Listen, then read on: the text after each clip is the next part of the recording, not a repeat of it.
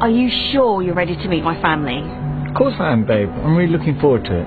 Remember, I am the only girl, so my dad and my brothers can be a little bit protective of me. They might be a bit aggressive, but just don't take it personally. I won't, babe. Look, I fear no man. All that matters is that I have you in my life. Because I love you. I love you.